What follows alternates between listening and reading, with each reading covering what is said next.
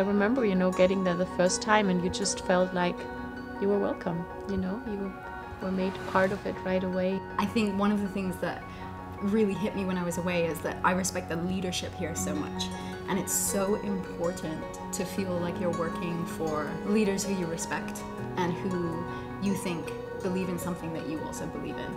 This is kind of like an alternative school within the Hong Kong culture, right? So I really appreciate that they value the arts, but also we don't feel like we need to do things the way every other school in Hong Kong is doing in order to be successful.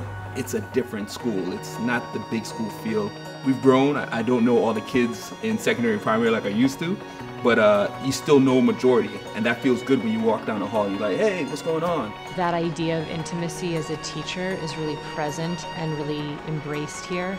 That sense of knowing my children well, knowing the young adults I work with well as humans first, and as students second, is something that I think is invaluable. It's one of my very, very favorite things about working here. Kids, teachers, parents are all kind of involved with each other. It's very warm um, where colleagues would actually want to spend more time with each other outside of you know their workday. Speaking for myself, you to be left behind. So it challenges you to be the best person you can or be a better professional because you know what?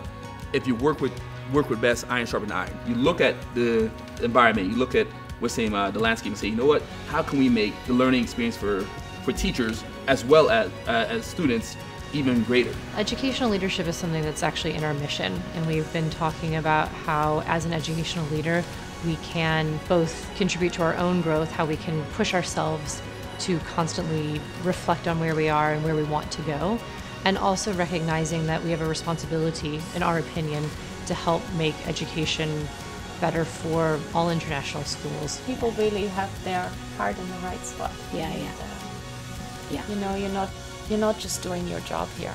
You're doing your job because you're you're loving what you're doing and yeah. um, you're willing to give it give it all and because you you care